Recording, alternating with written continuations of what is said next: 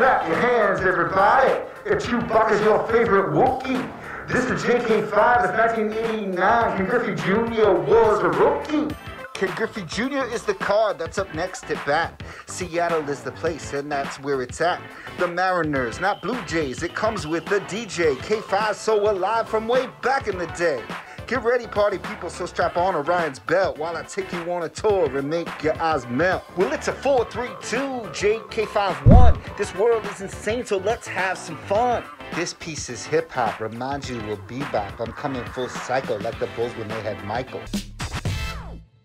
Since this is Ken Griffey Jr.'s rookie card from 1989, I decided to really pay homage to my love of old school hip hop. I gave him the four finger rings just so Pfeiffer can scope. It says the kid.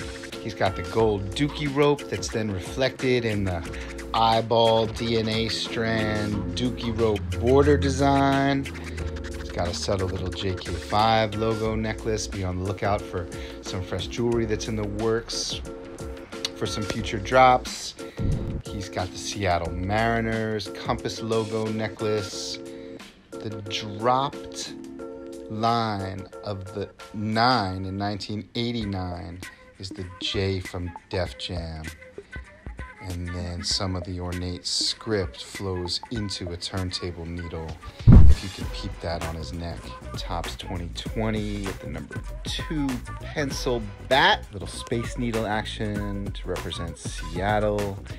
Stats are hidden in the folds and the shadows and the shapes in his jersey.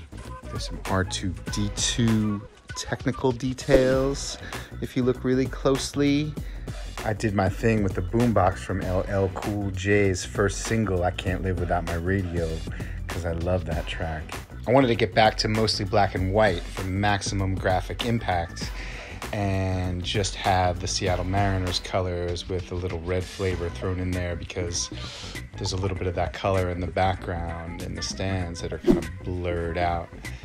Um, and last but not least, Ken Griffey Jr. rocked his hat backwards all the time. So that was sort of the catalyst and um, the beginning of my thought process and wanting to really celebrate and pay homage to everything that old school hip hop embodies in the world. I really want to thank you all for your continued love and ongoing support, your outpouring of comments and feedback.